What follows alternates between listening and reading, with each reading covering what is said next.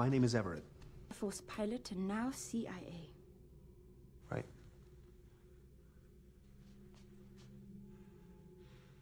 It's more complicated.